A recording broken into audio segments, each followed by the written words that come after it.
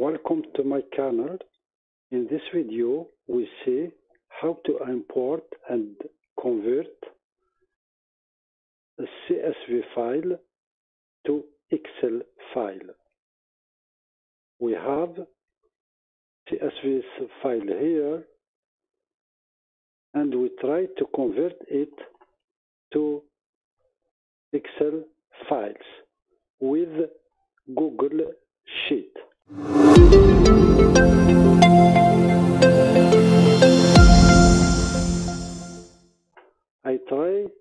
some methods, some simple methods, free methods don't work, but I get a solution with Google Sheet.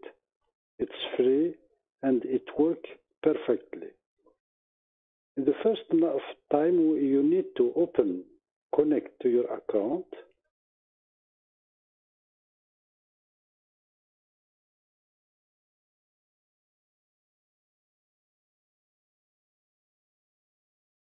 Click here and select Sheet.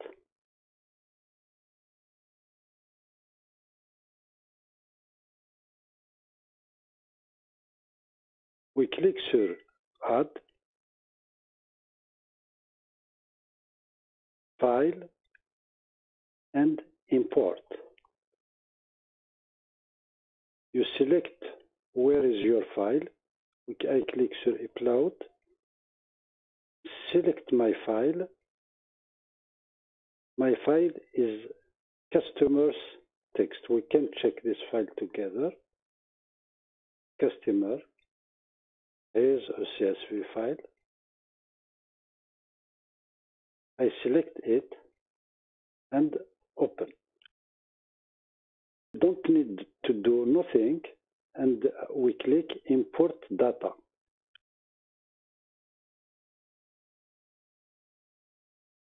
As you can see, this file it's automatically converted to Excel file. Now we need just to click File and download Microsoft Excel.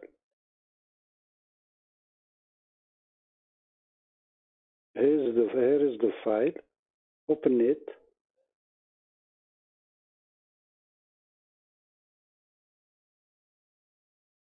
As you can see, it's perfectly converted to Excel file. I hope this video helped. Don't forget to, to subscribe. Thank you for watching.